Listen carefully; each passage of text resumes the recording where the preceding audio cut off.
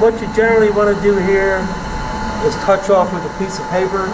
It's difficult because of where I am. It's, it's not level. It wants to roll. Right.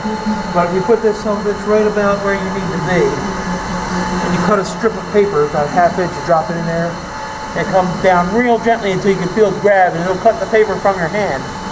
Then you know you're two and a half thousandths where you are Okay. before you make contact.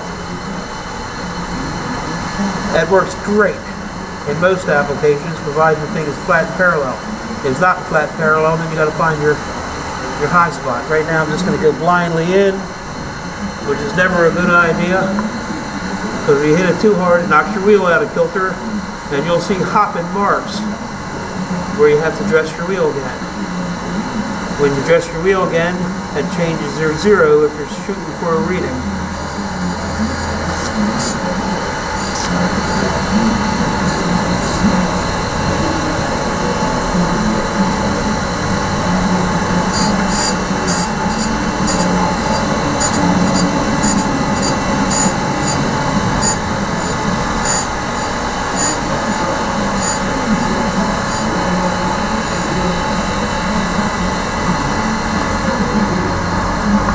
By all means.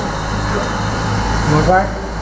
You need rhythm, Daddy-O. No, no, you, I'm, I'm, I'm just, I'm not gonna be the one right. I'm gonna watch what you're doing. I, I got just. All right, well, you're gonna pass the word to the next guy. Yeah. You need a, you need a rhythm. Like with these jobs here, they're hand bent. I go up and down.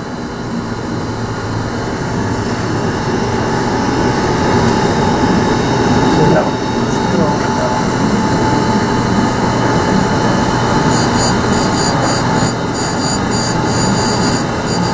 You can get a real good finish this way.